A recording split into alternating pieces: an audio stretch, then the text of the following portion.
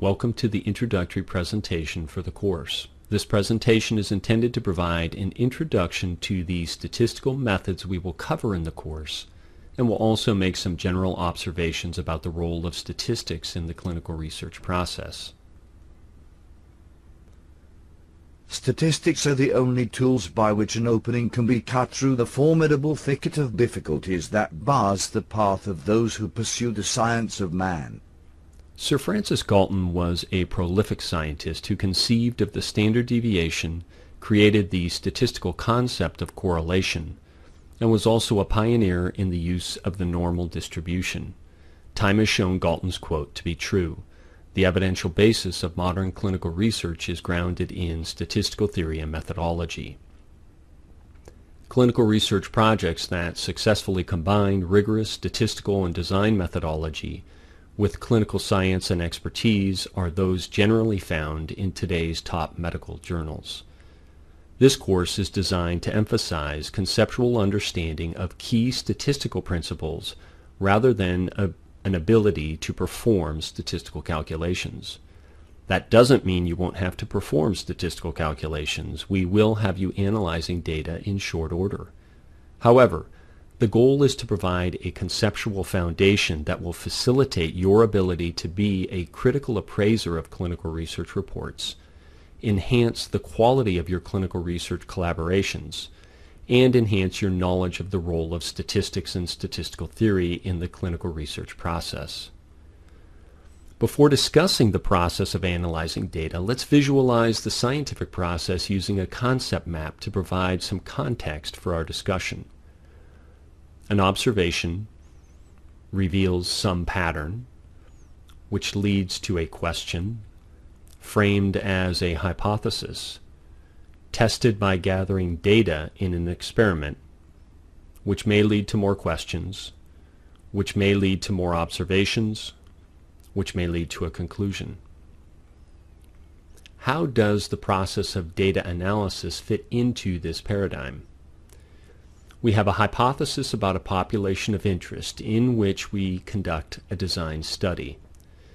We collect a random sample of data from this population. Now we are ready to do some statistics. We first calculate some descriptive statistics for the sample. The goal here is to use basic statistical quantities such as the mean, median, and standard deviation to provide a description of the sample we have collected.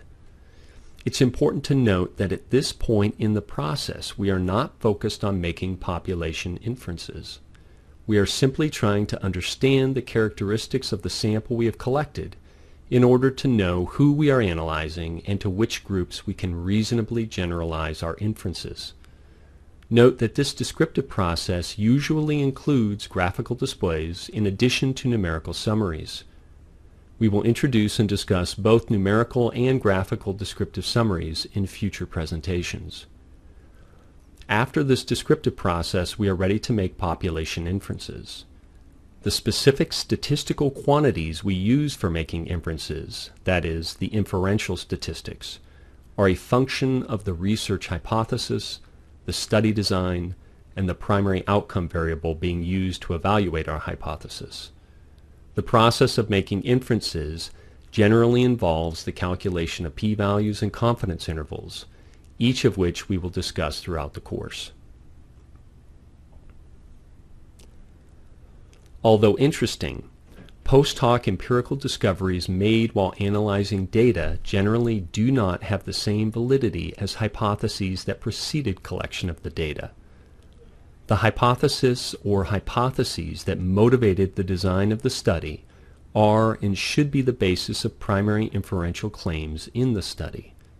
From a statistical perspective, we analyze the collected sample of data to produce an estimate of the population measure of interest. We then calculate a p-value associated with that population estimate based on the magnitude and variability of the estimate and using that p-value make a conclusion about the hypothesis. Too frequently in clinical research, the p-value is misinterpreted, its importance overstated, and its proper context is not appreciated. The p-value is not the sole arbiter of the truth or falsehood of a research hypothesis. In general, there is a hierarchical nesting of contexts within which p-values must be weighed and interpreted when being used to make inferential claims about a hypothesis. The statistical context in which a given p-value was calculated must be considered. The research design used to collect the data that generated the p-value must also be considered. The results of prior research studies on the same subject must be taken into consideration. Additionally, both the plausibility of the hypothesis under study and the magnitude of the effect observed must be weighed in relation to the relevant clinical science and knowledge about the hypothesis under study.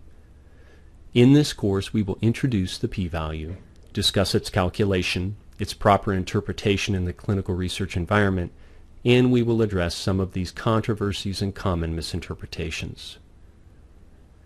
It seems important at this point to make note of some examples of things that statistical calculations cannot overcome.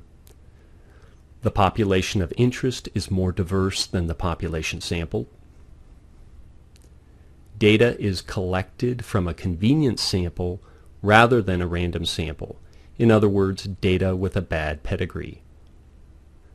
The measured variable is a proxy for the variable you are really interested in, an example of this is the use of coronary artery calcium scores or C-reactive protein as proxies for cardiovascular mortality risk. The question being analyzed is not really the question you want answered. This can occur, for example, when a study is being conducted using an administrative database, the structure of which imposes restrictions both on the available variables that can be analyzed and the research questions that can be answered using those variables. Statistics is both a science and an art. The science is what we teach in the classroom. Examples of that include what is a normal distribution, what is a p-value, and how do you calculate one. The art of statistics is driven by experience and knowledge regarding which assumptions are most crucial to the performance of a statistical method and which can be relaxed without too much harm. We will focus mostly on the scientific aspects of statistics in this course, although we will try to also pass along some of the art. It's important to remember that everything we do is an approximation. In particular, the sampling of desired populations can be extremely difficult in clinical research. It's often the case that you may need to form questions that approximate your real questions and study populations that closely approximate the real populations that you're interested in studying. And to end, I will leave you with a statistical quote, which, while humorous, is also quite true and too often can be the source of flawed clinical research analyses. The manipulation of statistical formulas is no substitute for knowing what one is doing.